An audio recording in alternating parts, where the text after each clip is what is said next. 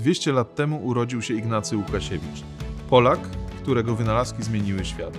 Założyciel pierwszej kopalni ropy naftowej na świecie i twórca lampy naftowej. 2022 rok został ogłoszony rokiem Ignacego Łukasiewicza. Z tej okazji przygotowaliśmy program grantowy dla inicjatyw upamiętniających naszego wielkiego wynalazcę.